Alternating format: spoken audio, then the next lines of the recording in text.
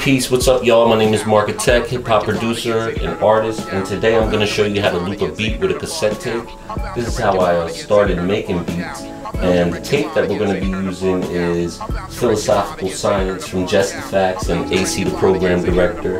And um, it's funny because I had to rip the uh, face of the cassette deck off so that the cassette will rewind because if you remember sometimes if it didn't line up the cassette wouldn't line up here right into the thing. So anyway so that's even better so you'll be able to see what I'm actually doing. Now you can only loop a beat with a cassette tape with a certain kind of cassette deck.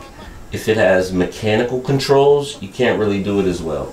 Now the challenge with this tape deck is the pause button on this side you have to actually manually hold it down because it's broken but I've worked with that before. But it's been a long time since I looped a beat with a cassette. So let's see if we can loop a beat with a cassette. Alright, so we'll start with that. Now let, us go over here and see where we're at. Alright, see what.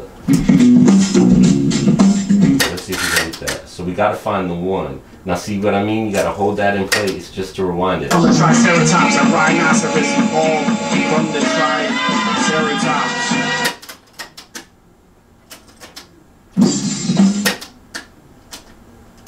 Just like when you're looping any beat, you want to find the one. Remember, yeah, cassette rollers, see? If it doesn't line up. from the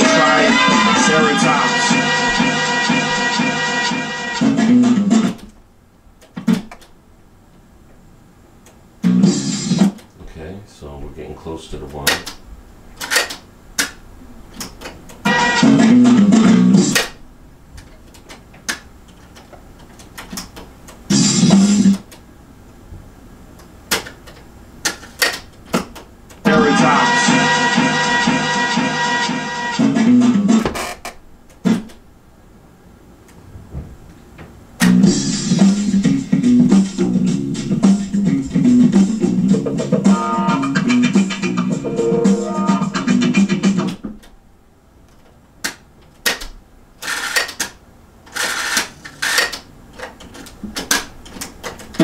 Detox, beatbox, moving like a paradox. Treat your friends wisely, the age-old paradox. Rhinoceros evolved from a triceratops. A rhinoceros evolved from the triceratops.